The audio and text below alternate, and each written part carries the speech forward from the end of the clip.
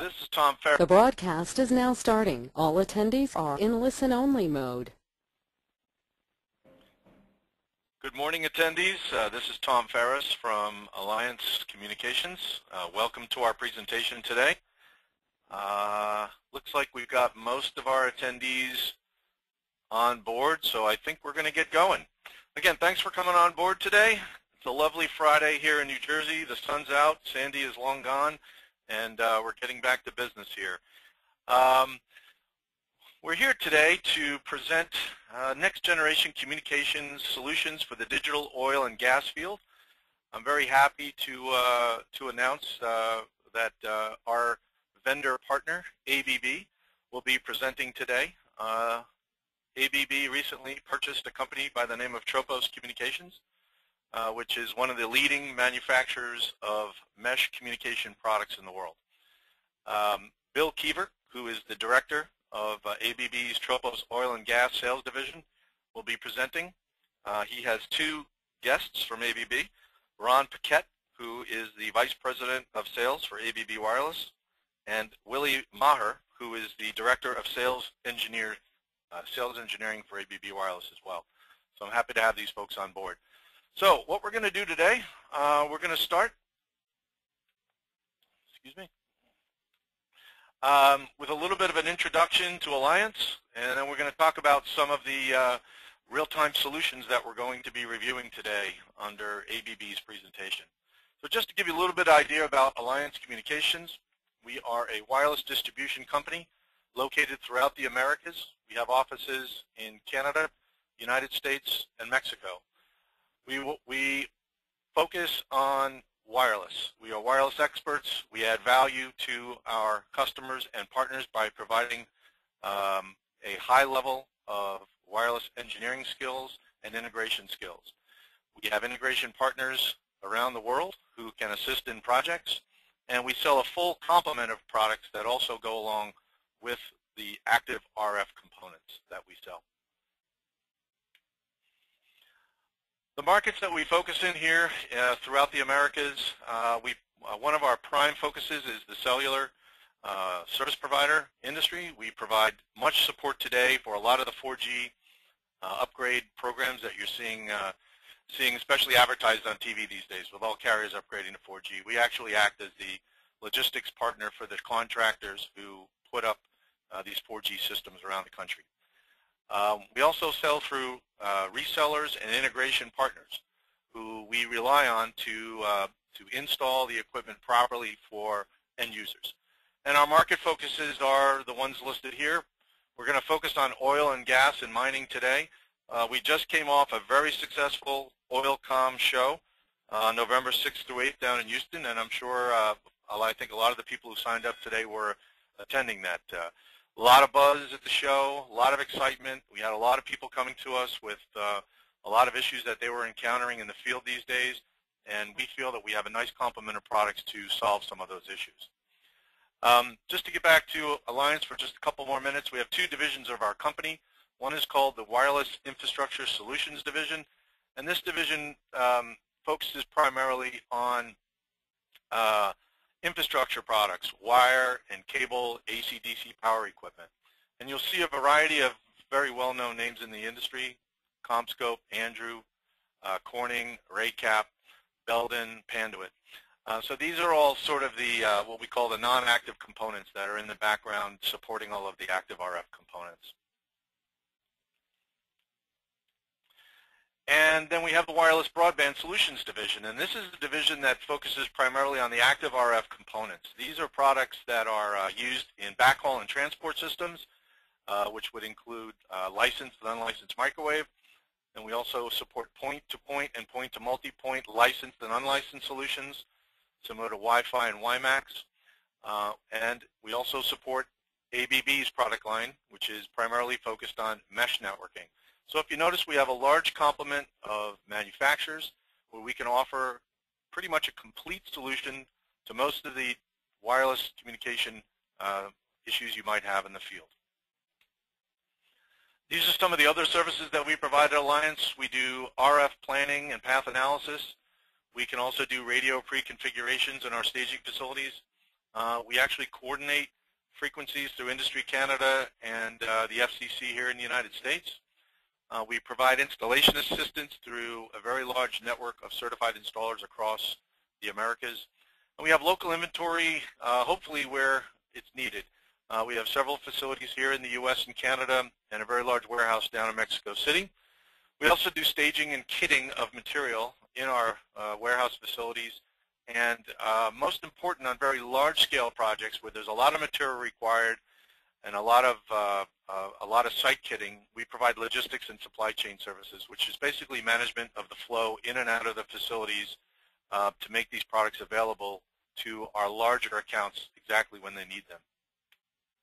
And these are just some of the uh, some of the customers that we've served over the years uh, in the oil and gas sector. Um, so a lot of these are uh, these are spread throughout Canada, the United States, Mexico, and Latin America. So we are truly kind of a pan-American company at Alliance. And with that said, I'd like to turn it over to uh, Bill Keever, who's going to take us through the uh, the ABB uh, the ABB wireless presentation. Thank you. Happy Friday, everyone.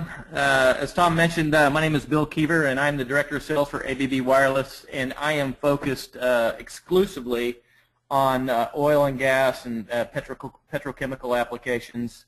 And uh, so what we're going to talk about today is really ABB's advantage, advanced wireless solution for the digital oil and gas field. what we're seeing today in the industry uh, is uh, it's changing at a pretty rapid pace uh, with new applications coming on every day that require additional bandwidth. And at ABB, uh, we're going to talk. I mean, we're going to talk about the uh, product line um, that uh, will allow you to run multiple applications over one network in an affordable, reliable, and easily easy to deploy manner. And what I'm going to tell you about today is the many advantages of ABB wireless solution. We're going to talk about uh, specific products, uh, uh, kind of highlight a couple installations, and then close with some uh, Q&A. So with that, we will begin. Uh-oh. Technical problems already. Lisa, can you hear me? Yes, Lisa? I can hear you, yeah. Just press enter. I, I know, it's not no? Well, put your arrow key on the presentation and, and click on the presentation. Uh, there we go. There we go. Sorry about that. Okay.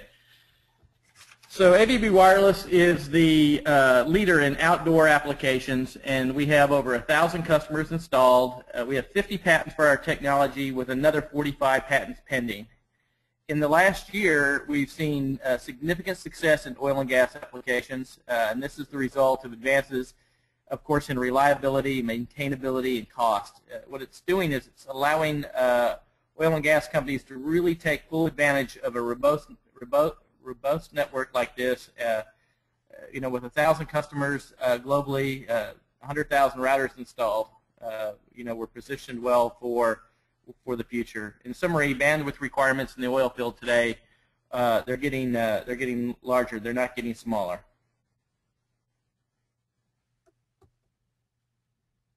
So what are some of the challenges that uh, oil and gas companies are seeing today? Uh, in the past, uh, many companies were hesitant to deploy broadband networks, and it was due to several factors, uh, immature technology, some security concerns, clashing frequencies, However, today with advances in reliability and affordability, um, these concerns are really the thing of the past. I was uh, I had a conference call uh, late last night uh, with uh, Pato uh, out of out of Alberta, and they he was he was in a remote location without historically without any uh, uh, internet access or phone service, and he when we when we spoke, he was going over the uh, Tropos wireless mesh network. Uh, he was communicating with me over the network, and he just said it's the first time that he can ever remember having access uh, connectivity out there, and it was just it was a life-changing experience for him. So, of course, we're always excited to hear that, and um, and we have many customers that will will articulate that same uh, value proposition. Uh, you know, 900 megahertz technology has been around for a long time, decades, and uh, And when I discuss uh, clashing uh, frequencies or noise, uh, anybody who's using 900 megahertz today understands what I'm talking about. So the, the and you know the reality is when you start looking at uh, development in the oil field and and and um, you start to see that this problem is really only going to get worse. It's not getting better. Uh, with ABB, uh, we're going to show you how to avoid many of these problems. So the digital oil and gas field, the solution. So what does ABB Wireless do for you? It allows you to take advantage uh, in advancements in, in several areas today, uh, process monitoring, uh, productivity enhancement, being able to walk around with a uh, tablet or a laptop, uh, safety and security applications, integrated communications, things like voice, video, and data, uh, end-to-end controls, everything from the wellhead and beyond. Uh, whether it's upstream, midstream, downstream, we have uh, solutions for all of them. And, and this is all over one network, and it's an easy to manage network, and we'll get more into that, how easy this network is to manage. Can everybody, Lisa, can you still see this fine?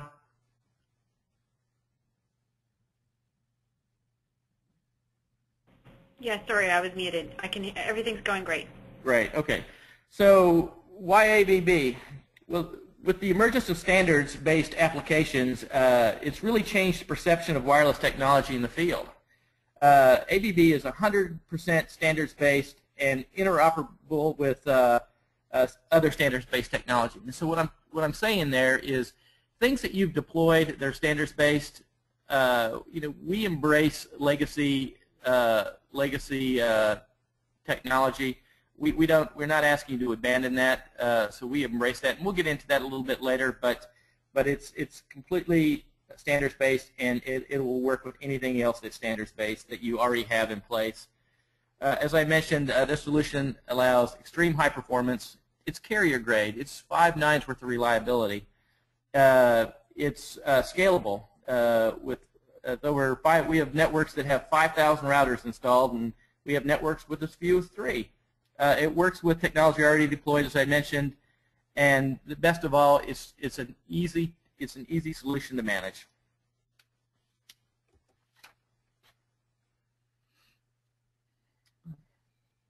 Oil and gas communications network, what ABB provides. So uh, we are we are of course the leader in uh, uh, outdoor wide area performance. No one else comes close to what we can do in the outdoors.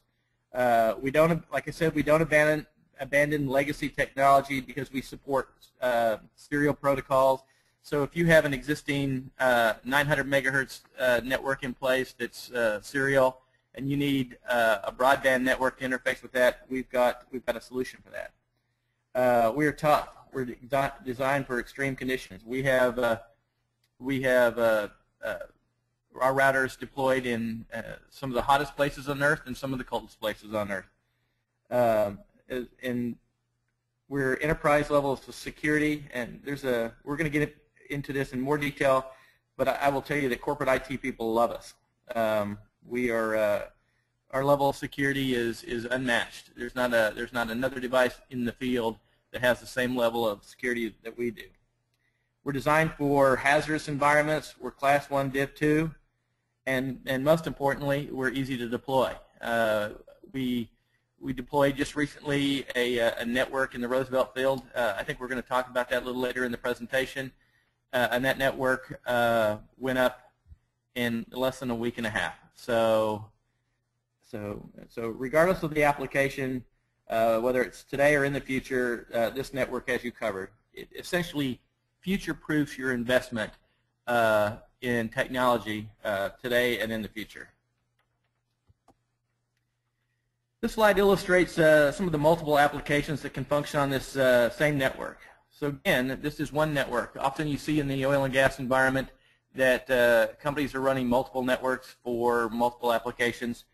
Uh, this, this, this network, this technology will allow you to run net, one network and will run allow you to run multiple applications on that same network. You know, most managers that I've talked to, they become uh, believers when they realize how much time and money can be saved by making informed repair, repair and replace operational decisions. Um, as opposed to just sending somebody out there. Um, when you have video and, and you can see what's going on at that location, uh, when you have, uh, uh, you know, voice over IP, so you can you can talk back. You have uh, internet access, so you can send emails and download files. It, it, it makes a world of difference. So where does Tropos uh, fit in uh, in the network? Um, so we're that tier two. We call it the field area network.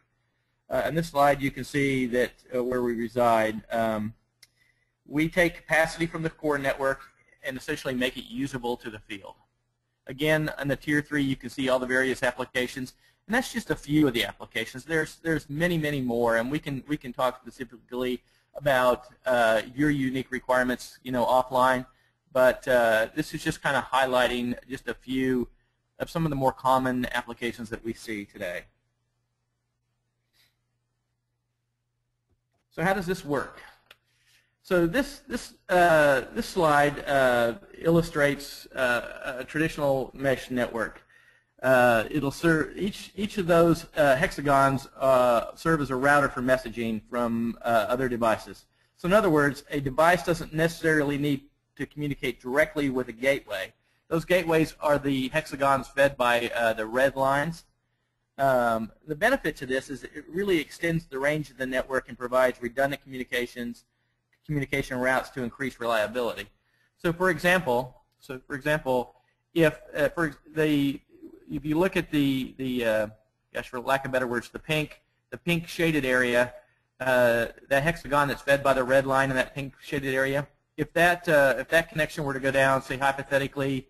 Uh, there was a catastrophe at that uh, location and cut that fiber connection. that would then fall over to become a node and then mesh with the other blue and green uh, uh, parts of the network as well.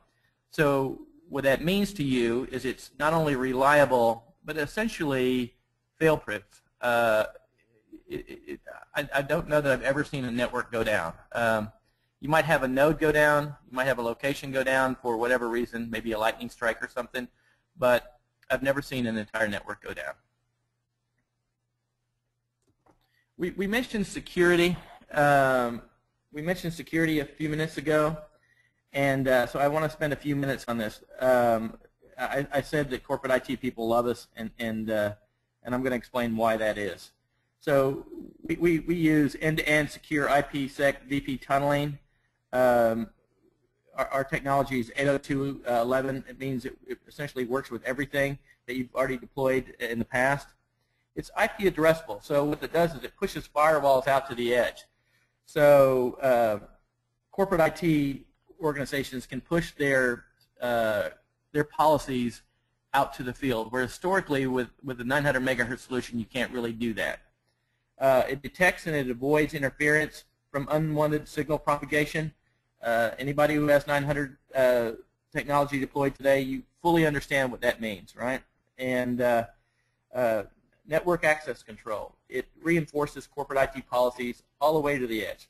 So uh, because these things are routers, they're IP addressable, they have firewalls on them, um, it's, it's by far the most secure network you can deploy in the field today. Secure mobility. We have, uh, we'll get into this in a little bit, but we have uh, mobile routers that, that are mounted in trucks uh, that are usable going down the road at you know high speeds and, and uh, it, it maintains the highest level of security for a mobile environment. And, uh, and last but not least, uh, identified um, uh, based uh, networking, and that allows for, if let's say you have contractors that are working on your location that need access to the network, but you don't feel comfortable giving them access to your entire network, we have the ability to uh, set aside a part of the network specifically for them, uh, and we can control who has access to it and who doesn't. Well, you can, and uh, um, we uh, we we developed that for uh, several oil and gas companies.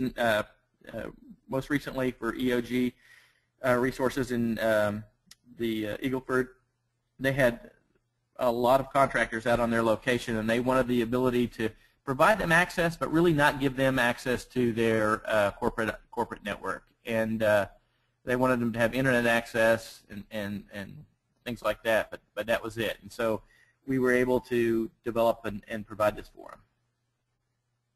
And we'll, and if you have any uh, security questions or any questions uh, related to this, at the end of this presentation, we'll, uh, we will we'll get into that. This, this, uh, this slide illustrates how multiple applications can run over the same network. Uh, so we cover broadband distribution in areas, challenging environments, right? And, and uh, so there are multiple applications that, that, uh, that run over the same network. Whether it's video, we're starting to see lots and lots of video being deployed in the oil field.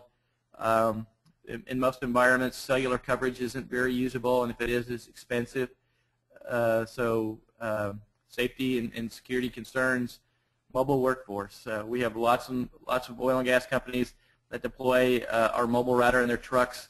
So wherever the trucks go, it's a node on the network, and they're all, they're they're they have high bandwidth. They can they can download files, they can upload files, they can they can talk on their uh, uh, you know voice phone, VoIP phones uh, and then, then, of course, all your measurement uh, readings, the SCADA uh, flow meters, things like that, it, it's all over the same network.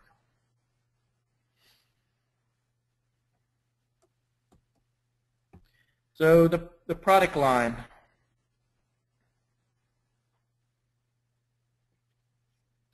So, Lisa, can you hear me okay? Yes, you're all good. Okay. I can't hear anything, so it kind of freaks me out when I can't hear anything. I feel like I'm talking to myself sometimes. You are. uh, so uh, this is this is kind of an overview of the product line, and it it it shows uh, photographs of some of the products. Uh, on the top uh, left, it's a 7320. That's uh, that's a big gateway router with battery backup built into it.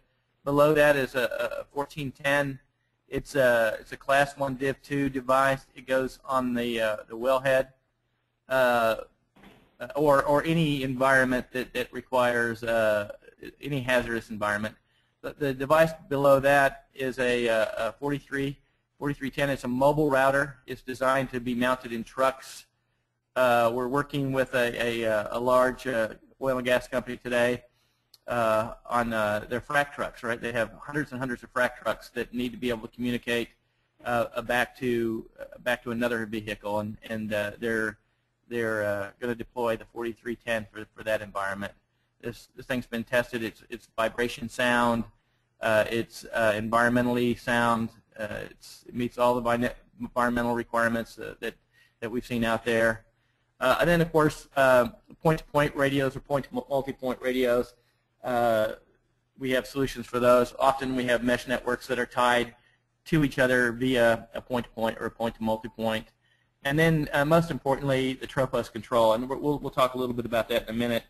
Um, but it's, it allows you to easily manage uh, your network uh, and, and detect problems. And like I said, we'll get into that in more, more detail but in, in, a, in a second. But it's uh, it's really one of the advantages of having uh, this technology deployed in, in your environment today. And because uh, all of our routers aren't uh, aren't deployed in uh, San Diego, so we've we've had to make them uh, tough for extreme conditions, right? So you can you can see that we're five nines re reliability, we're minus 40 C, we operate to 55 plus C. Uh, we have optional battery backup. Um, we we were 165 mile an hour wind survivability, but uh, because we're building a, a, wireless network over the island of Guam, uh, we've been forced to increase that to 200 miles an hour. We've done the testing, we've passed. We've got lightning surge protection. Uh, not that it's a big deal in the oil and gas field, but salt fog rust resistant. It is a big deal in Guam, so so we have we have that. We talked about security. Uh, we have a lot of U.S. government deployments, so uh, clearly it's secure. It's FIPS 140-2. We talked about monitor uh, manageability. It's easy to monitor, easy to configure, upgrades. Uh, you can push uh, upgrades down to all the all the nodes using Tropos control, and um, it's you know multiple applications. It's high bandwidth. It's low latency. It's it's uh, it's multiple multiple uh, applications that require high bandwidth. So whether it's video, when uh, we sold uh, Newfield in uh, Utah, uh, they they they were apprehensive, uh, to say the least, about uh, wireless technology and, and and didn't truly believe that they would get the same bandwidth that they that they thought they that we were telling that they would get. we we installed a, a pilot location for them. We put a gateway up. We drove four miles away uh, and we uh, opened up a tablet, downloaded Netflix, and we watched a movie without uh, any buffering, uh, high definition, and uh, they were believers.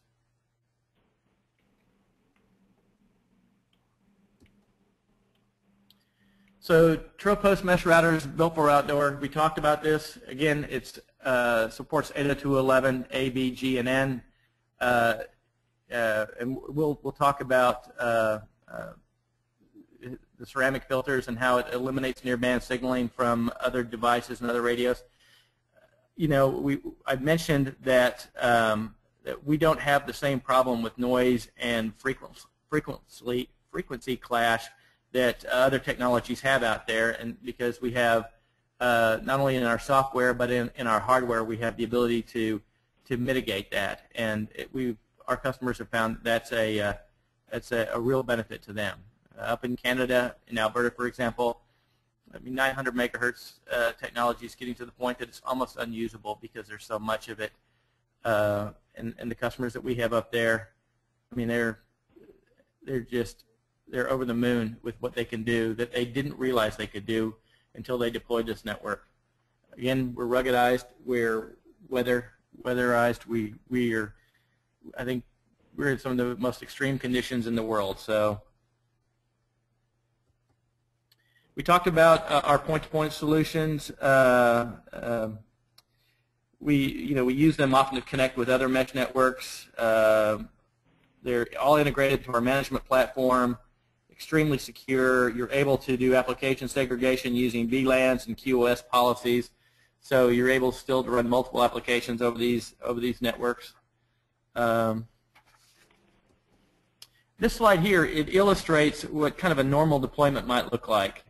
So if you look down uh, with the, the red lines, those those are 1410s, and they are on uh, tanks and, and flow meters and any measurement device that you might have out there that, that needs to send data back up to a collection point.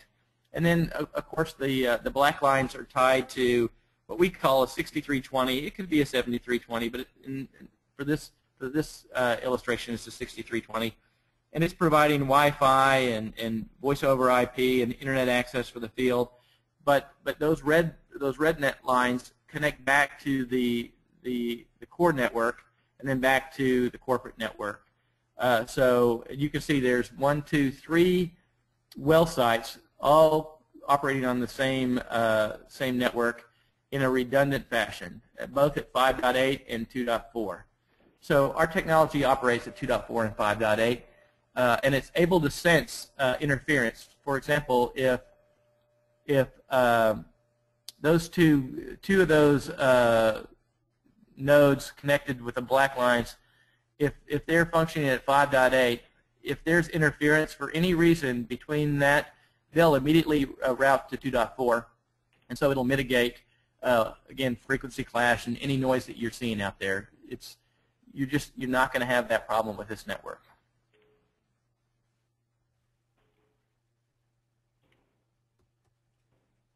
Uh, as I mentioned, this is Tropos Control. Uh, it's our management platform. This is critical.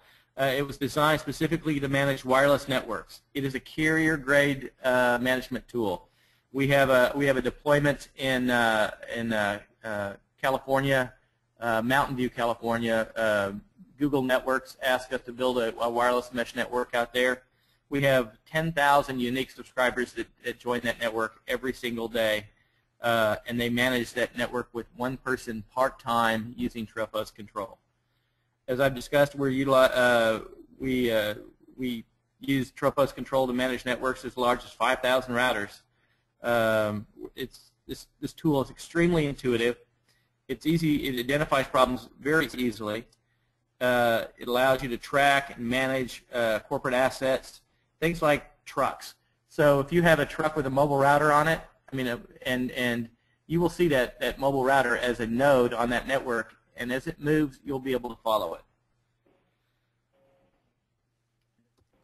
I, mentioned that uh, we were going to talk a little bit about uh, some uh, existing customers or some applications. We could do this all day long, but I know it's a Friday uh, afternoon for many of you, and and I'm sure that you'd rather be doing something other than um, talking about uh, my mini installations. But I did want to highlight a couple of them because I've made reference to them earlier in the presentation. EOG networks uh, resources. Uh, we started with EOG in Corpus Christi, uh, and then EOG in the Eagleford wanted us to. they wanted to evaluate our technology. Um, they had deployed another technology uh, previously and they were frustrated with it. And really, I don't think that they believed they could achieve what they wanted to with a wireless solution. So we started small. We started with just a few well sites. Um, and we dramatically lowered their cost at those well sites, and we increased their performance by fivefold over what they were using before. And they, they never believed that that was possible. So, so now we're uh, we've replaced all their existing old technology, and now we're in the process of replacing their um, uh, uh, 900 megahertz technology that they were using to read SCADA data and flow meters and, and things like that.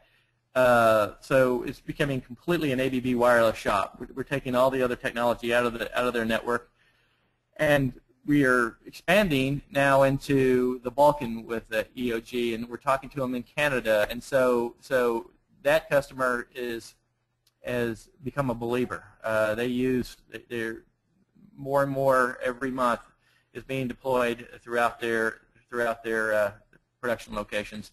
Uh, and the corporate IT people, of course, it's broadband, so it's natural that corporate IT people would initially be concerned uh, because you're you're allowing uh, people out in the field to have an enormous amount of uh, uh bandwidth. Uh, and then we went down and we met with their corporate IT folks. We showed we showed them our uh, security capabilities, the fact that we could put firewalls on the end of each device, the fact that they could push their corporate policies out into the field. They've never been able to do that before, and they've never seen a technology that allowed them to do that before. And once we sat down with them for about 45 minutes, uh, we became the de facto standard of wireless communications within the EOG. I mentioned Newfield, uh, Newfield uh, a while back. I think I've talked about Newfield and Peyto, and we'll talk a little bit about Peyto, although I don't have a slide for Peyto. Uh, Newfield, again, uh, they're in the Roosevelt Field in Utah. Um, again, not a believer in, in wireless uh, communications. They were using some uh, off-the-shelf uh, 900 megahertz stuff for reading reading devices. They weren't happy with it. There was a lot of noise, a lot of frequency clashing. very unhappy. we've and, the, and all their all their guys out in the field carried air cards, right? So what we did is we, we, we built this network for them. We deployed it. That's a picture of uh, one of our 6320s on a tower. We built this network and deployed it for them in a very short period of time. Um, they're able to run multiple applications over it initially the initially the application was was was local Wi-Fi, and that's that's fine. It was an anchor anchor application for us. We built a Wi-Fi network for us. They were able to download, uh, have access to the internet, maybe a little VoIP, uh, but they they quickly quickly the SCADA the SCADA manager, uh, a guy named Derek Skansen, said you know, I wouldn't mind taking advantage of this network uh, and, and running my SCADA data over it and all the measurement devices over it. so we, we uh, but he wanted to pilot it. We put some 1410s out there. They piloted it, and then and now they're getting getting away with all their traditional 900 megahertz technology because it works so much better, so much more dependable, uh, and it's so easy to deploy.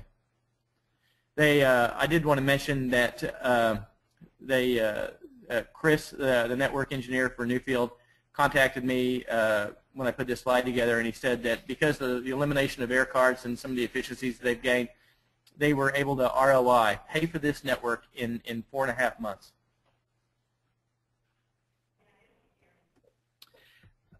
The next slide shows uh, a traditional um, uh, location. I believe this is a, an EOG location. Um, it's, as you can see, uh, this, this, this facility is being operated on solar. We have a lot of facilities that are being operated on solar. These devices draw very little wattage. Uh, I think a 1410, I think averages about 2.5, 2.7 watts, uh, depending on how much is being used uh, which is comparable with the most 900 solutions out there today. Five nines worth of reliability. Again, I want to emphasize this network does not ever go down. This is a carrier class network. This is a hardened network that is made for extreme conditions that uh, has uh, built-in um, uh, built-in ways of, of routing around problems and, and mitigating uh, noise, and it just doesn't go down. It is once you install it, it's it's in it's in for for a very long time. These radios have a mean time of failure that exceed 15 years. So so most of the stuff that you'll deploy, you, you'll be tired of using it before it's not usable.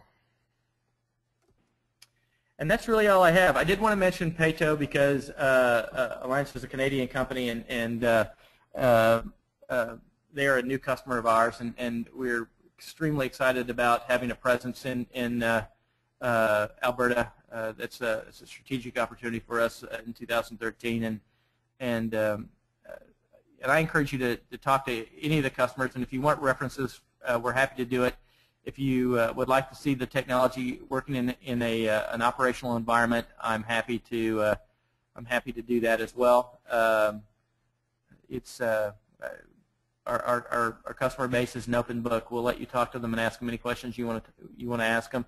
But but Peyto uh, specifically in Canada, uh, in, in, speaking with him last night, it just it, it, it really just it, it made me so proud to represent a, a company and a technology that's really really making a paradigm change uh, for the better in, in, the oil and gas environment. Uh, and people are able to do things that they never thought possible historically. And, and, uh, and I, I, think if you give this uh, technology an opportunity, at least trial it, you would find the same thing.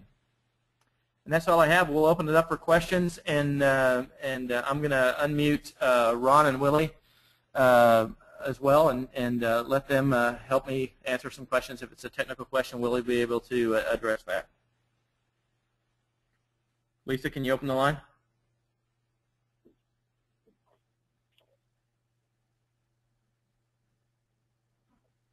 Lisa?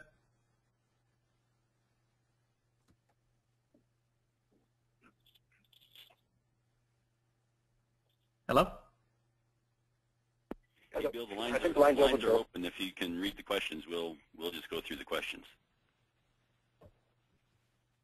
Okay. Uh, here we go. I, I... Uh, sorry, I'm unmuted. Uh, I, I was muted. Um, I just wanted to tell you that there are no questions at the moment submitted through the panel, but if people do have them, oh, sorry. Um, uh, if you do have a question, submit it through the questions uh, panel, and we can address them right now. No question is uh, too silly to ask. But there are some questions that we um, received from people who, uh, when they were registering for the webinar, so I think maybe we could address some of those. Um, one I'm seeing right here is um, what is the role that fiber plays in the communications network? Um, how do you address hybrid wireless fiber solutions working with utility infrastructure?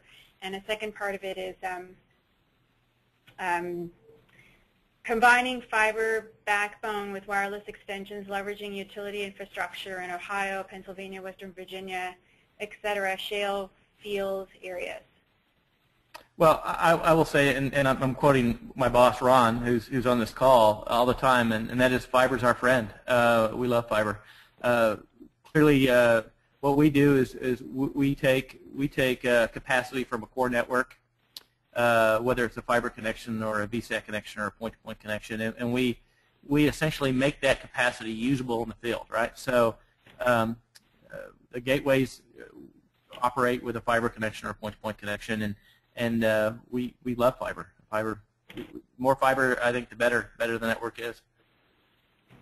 Ron, do you want to expand on that? To, to inject capacity into the mesh, that's the tier one layer of the mesh. And so we will take fiber or we'll take point-to-point -point technology. You also saw lines carry products like Redline. So we'll use Redline or we will use fiber to inject capacity into the mesh. And then that mesh is distributed into a cloud over the field or into a cloud over the utility of which then devices connect to that cloud.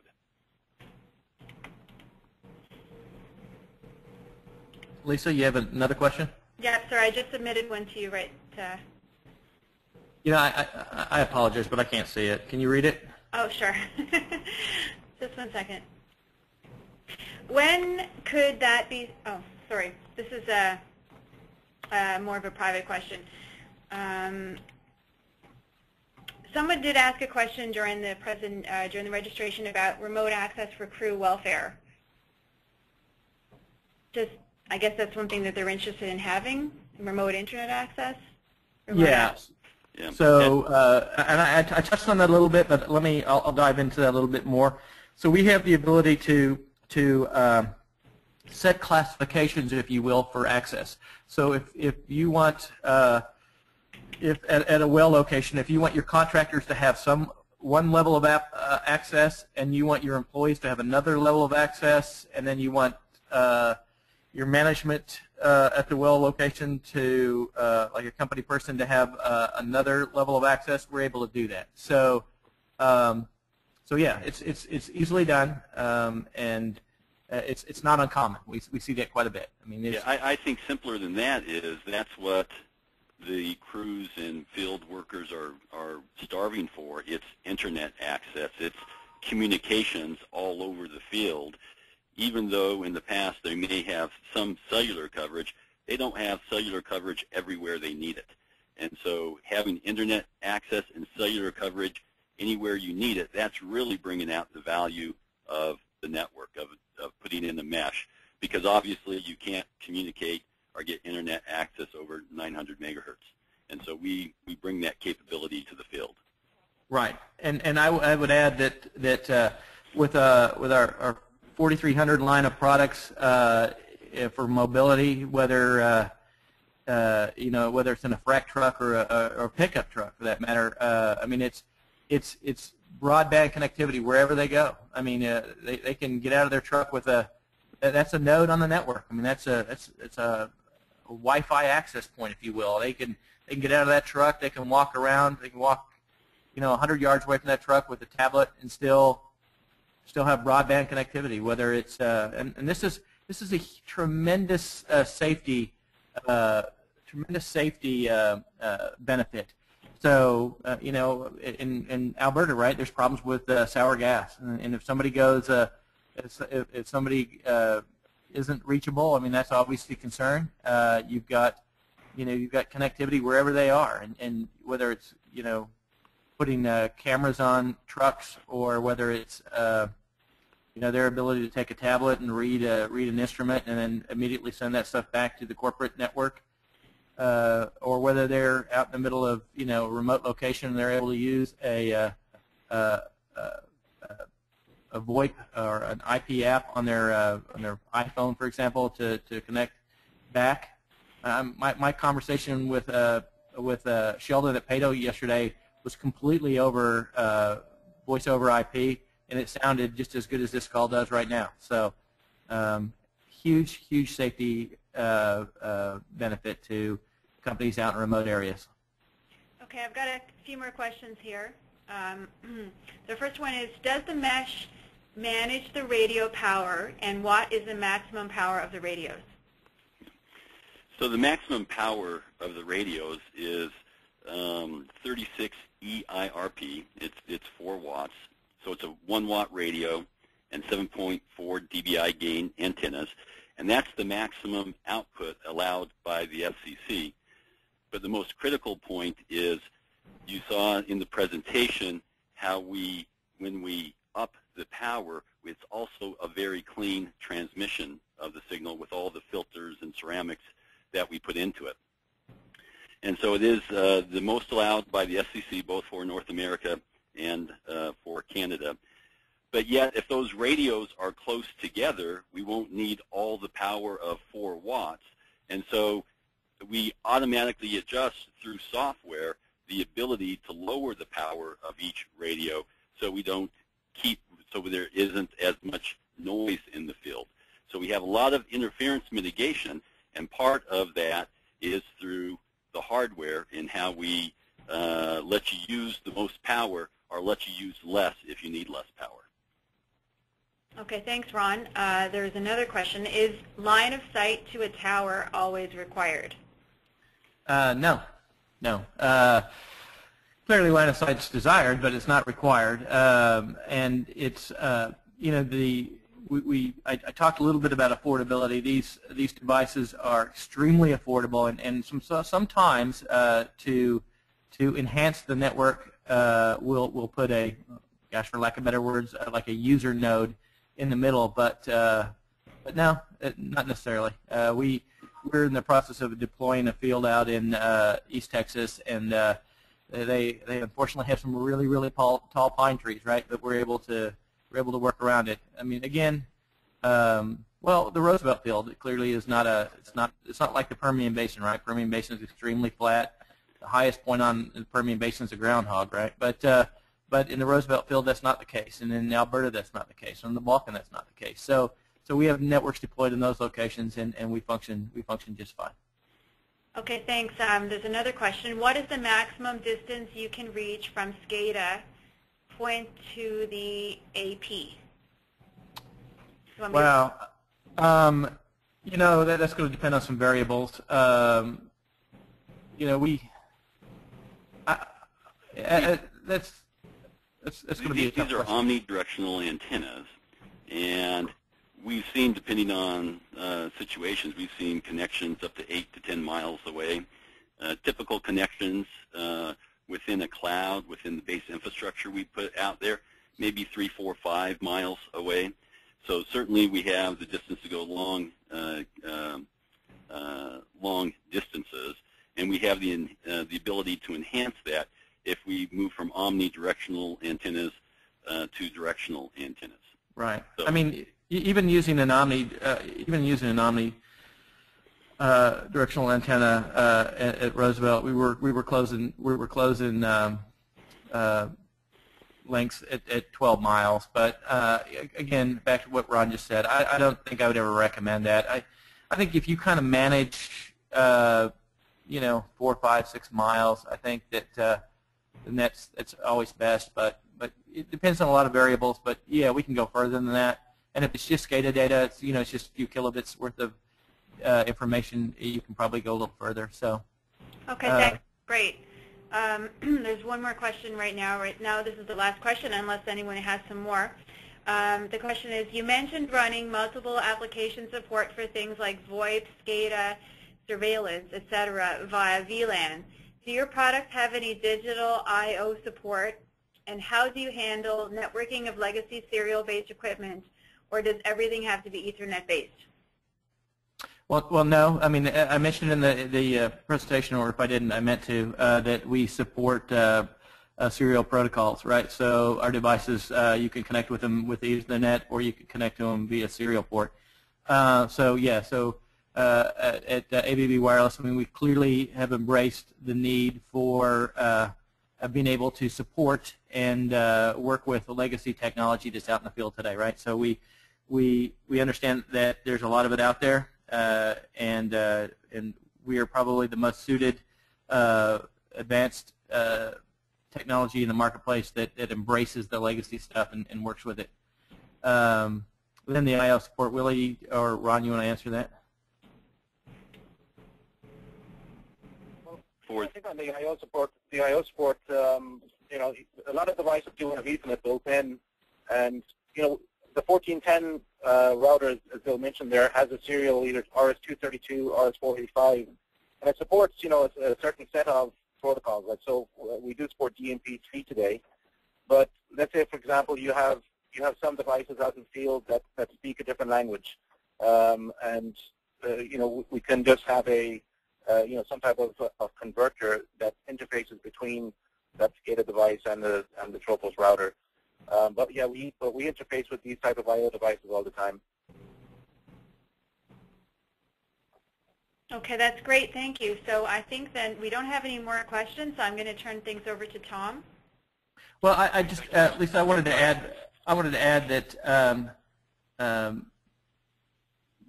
c- is it, is it, how, how do, how do the folks, if they want to get in touch with us, how do they, how do they go about doing that?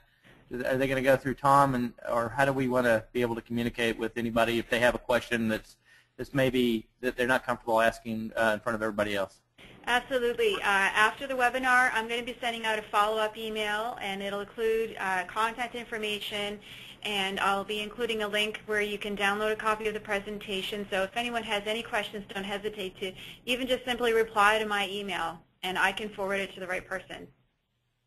Again, folks, we, we, we fully appreciate that it's a Friday and, and that uh, everybody's busy.